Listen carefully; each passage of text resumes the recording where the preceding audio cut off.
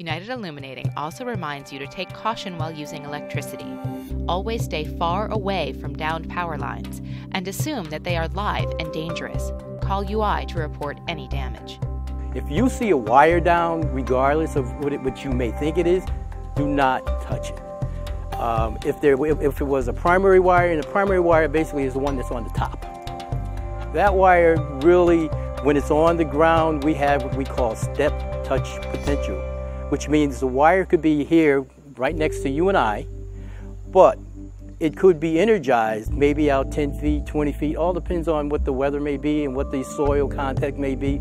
If you see wires down, keep your kids away from it. You stay away from it until we get a qualified person to come out and either repair it or remove it. Be sure to keep children away from electrical outlets or contact your local electrician for outlet cover installation keep lighting and all electrical appliances away from any water source.